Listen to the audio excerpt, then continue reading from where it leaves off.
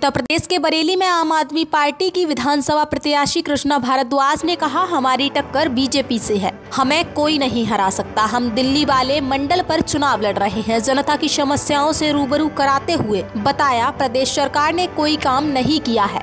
न रोज़गार के लिए काम किया गया है, न ही जनता के लिए। मेडिकल फ़ील्ड में कोई काम नहीं किया गया है। यहाँ एक रबड़ फैक्ट्री हुआ करती थी, जो आज तक बंद पड़ी है। लोग बेरोजगार हो गए हैं, एक शुगर मिल भी हुआ करती थी, वो भी बंद पड़ी है। उसके लिए सांसद विधायक ने कोई काम नहीं किया है। मैं एक प्रत्याशी हूँ, इसके लिए हम लड़ाई लड़ेंगे। और मेरे पर हमला किया गया, जो विधायक आवास और सांसद कार्यालय से चंद कदम दूर पर हमला हुआ था। किसी सांसद, किसी विधायक ने इस मामले की आलोचना नहीं की। मैं कमज़ोर महिला परेशान थी या नहीं थी? मेरे साथ भाजपा के लोग मेरी सुरक्षा की बात करते थे, वो केवल दिखावा है। मैं एक महिला हूँ मेरे साथ। जो भी कुछ हुआ, उसके लिए भाजपा के लोगों ने मेरा कोई साथ नहीं दिया। महिलाओं की सुरक्षा के लिए वैसे इंतज़ाम किए जाएँगे जैसे कि दिल्ली में किए गए हैं। 2012 के बाद, निर्भया कांड के बाद महिलाओं की सुरक्षा को मुख्यमंत्री अरविंद केजरीवाल ने चौकस किया है और उसी सुरक्षा के तरीके से दिल्ली में किए गए हैं। वैसे ही सुरक्षा के इंतज़ाम में अपनी बरेली और अपनी यूपी की जनता की महिलाओं के लिए भी करवाए जाएँगे। महिलाएँ काम करती हैं, घर से बाहर निकलती हैं, उनके लिए संपूर्ण सुरक्षा की व्यवस्था की जाएगी। नमस्कार, मैं कृष्णा भारद्वाज, आम आदमी पार्टी की शहर विधानसभा प्रत्याशी हूँ। देखिए, आम आदमी पार्टी उत्तर प्रदेश में कहीं पर भी चुनाव लड़ रही है तो उसका मेन जो मॉडल है, वो दिल्ली मॉडल है। जिस तरीके से दिल्ली में स्वास्थ्य, शिक्षा, पानी, बिजली और पेंशन के ऊपर काम किया गया है तो उसी तरीके की व्यवस्थाएँ उत्तर प्रदेश में भी रहेंगी। साथ ही उत्तर प्रदेश की अपनी कुछ प्राथमिकताएँ हैं, अपनी कुछ ज़रूरतें हैं, उन पर भी हम लोग काम करेंगे। महिलाओं के लिए क्या करेंगे आप बात जीतने के बाद आप?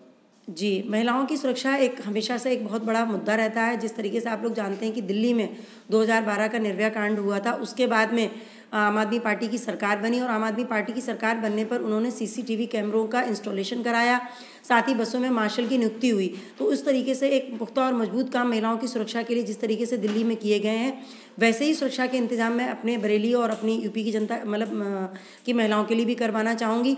साथ ही बरेली की मतलब जो महिलाएँ हैं, जो रात में काम करती हैं, या बाहर निकलती हैं, ऑफ़िस के लिए काम करती हैं तो उनके लिए कैसे पुख्ता इंतज़ाम हो? पुलिस उनकी मौके पर कैसे मदद करे?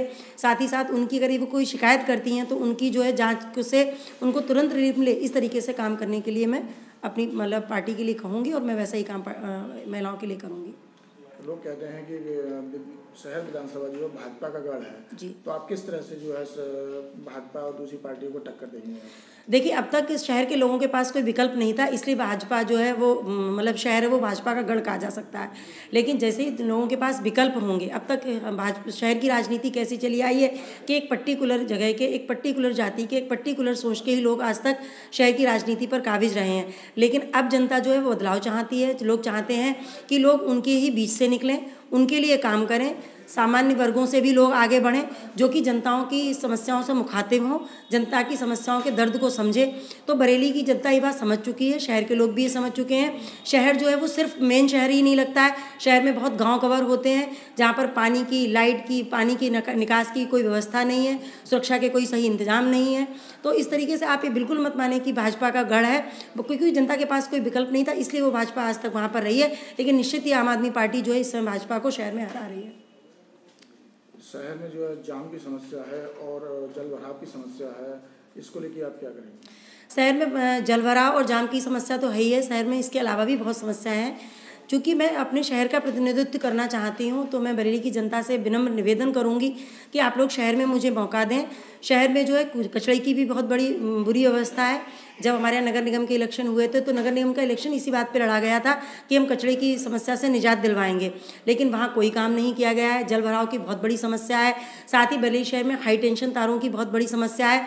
यदि आप सीलिंग को देखेंगे तो कि उत्तर प्रदेश के सोलह महानगरों में जो प्लॉट्स हैं, लोगों की ज़मीनें हैं, जो महानगर जिन पर बसाए गए हैं जहाँ पर जो है कि नगर निगम सारी सुविधाएँ दे रहा है। लेकिन फिर भी उस ज़मीन को जो है सीलिंग में डाल, डाला गया है।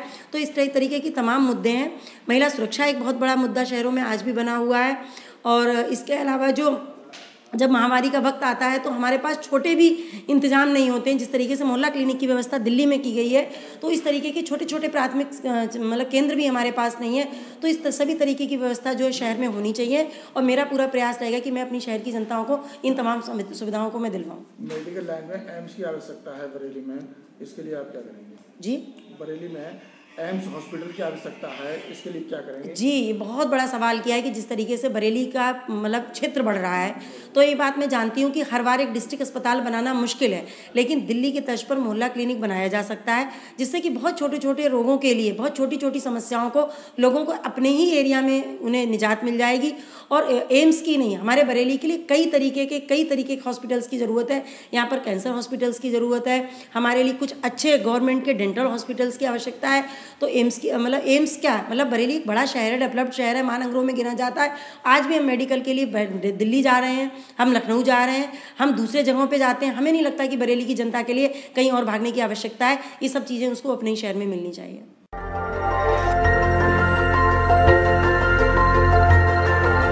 देखते रहिए डीबी भारती समाचार। नज़र हर खबर पर।